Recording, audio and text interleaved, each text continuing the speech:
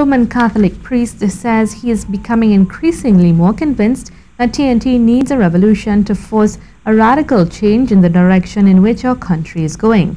Father Clyde Harvey says the need to spend time engaging with others and maintaining healthy relationships as it is the only way to address our declining society and rising crime. What they don't understand is that death means nothing to most of the young men who are pulling the trigger. He says relationships are essential and the young people who are involved in crime do so partially because they do not have a stable family or healthy relationships. Father Harvey was speaking at the launch of the new NGO Trinity Dormus Communities.